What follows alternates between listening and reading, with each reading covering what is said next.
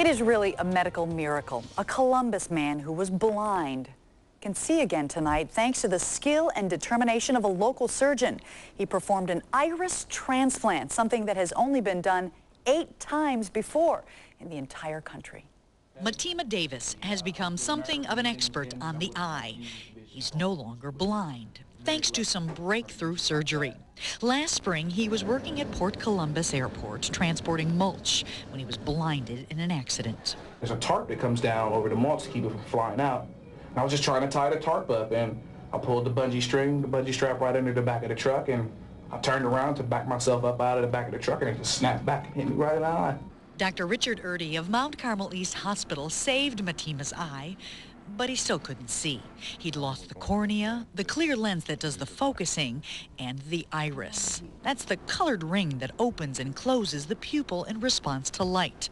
Doctors can transplant corneas, but not irises.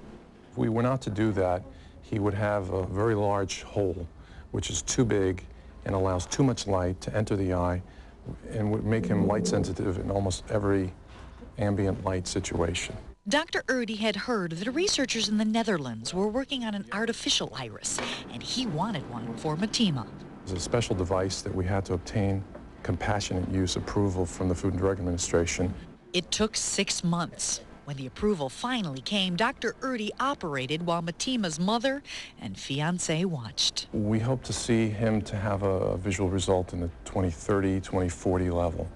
Less than a week later, Matima's back in Dr. Erdey's office for a checkup.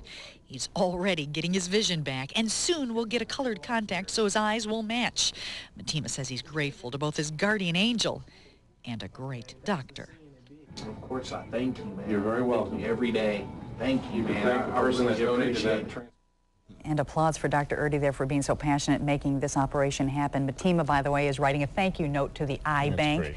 To pass on to the family who donated that um, cornea.